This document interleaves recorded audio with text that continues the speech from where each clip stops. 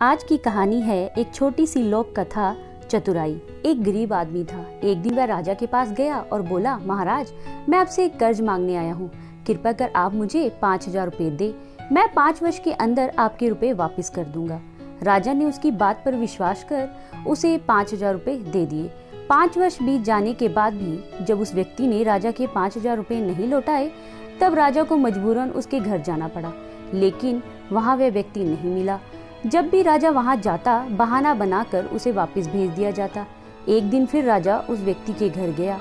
वहाँ और कोई तो नहीं दिखा, एक छोटी सी लड़की बैठी थी। राजा ने उसी से पूछा, तुम्हारे पिताजी कहाँ हैं? लड़की बोली, पिताजी स्वर्ग का पानी रोकने गए हैं। राजा ने फिर पूछा, तुम्हारा भाई कहाँ है? लड़की बोली, बिना झगड़ा के झगड़ा करने गया है।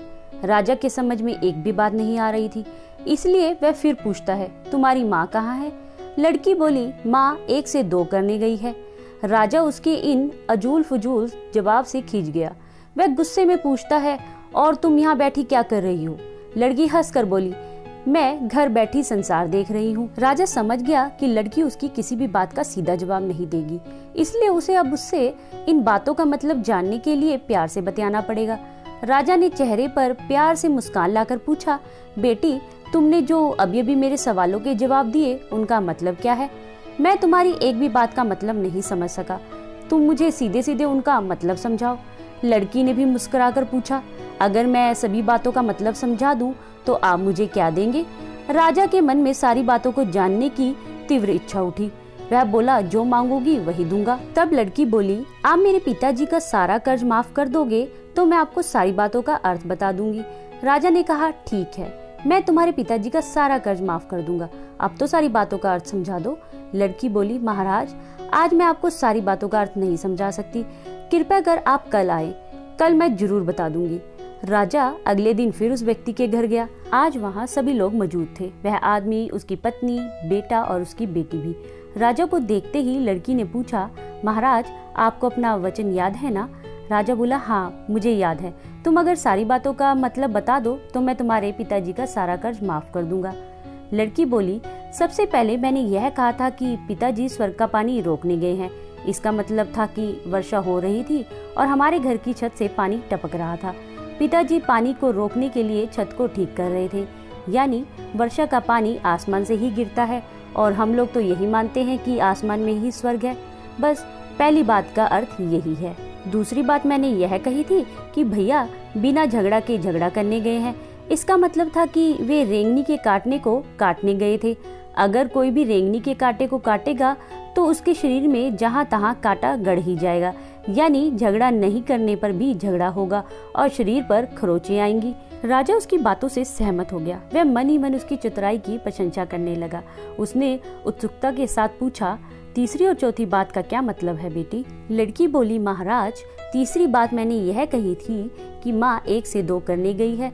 इसका मतलब था कि माँ हर हर दाल को पीसने, यानी उसे एक का दो करने गई है।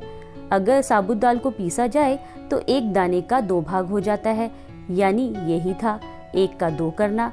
रही चौथी बात तो उस समय मैं चावल बना रही थी और उसमें से एक चावल निकाल कर देख रही थी कि चावल पूरी तरह से पका है कि नहीं। इसका मतलब है कि मैं एक चावल देखकर ही जान जाती हूँ कि पूरा चावल पका है कि नहीं। अर्थात चावल के संसार को मैं घर बैठी देख रही थी। यह कहकर लड़की चुप हो गई। राजा सारी बातों का अर्थ जान चुका था।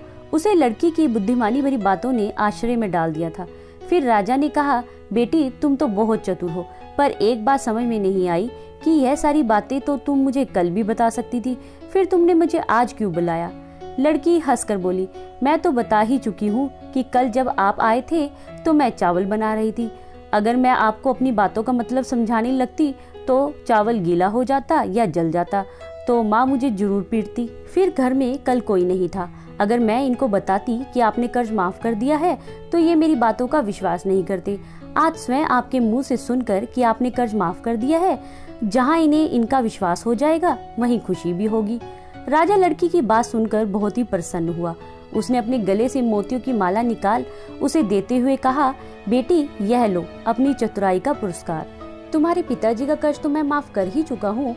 अब तुम्हें या तुम्हारे घर वालों को मुझसे बहाना नहीं बनाना पड़ेगा। अब तुम लोग निश्चिंत होकर रहो। अगर फिर भी कभी किसी चीज़ की ज़रूरत हो तो बेझिझक होकर मुझसे कहना। इतना कहकर राजा लड़की को आशीर्वाद देकर चला गया। लड़की के परिवार वालों ने उसे खुशी से गले लगा लिया। दोस्तों, आपको कहानी कैसी लगी? मुझे कमेंट करके ज़रूर बताइए।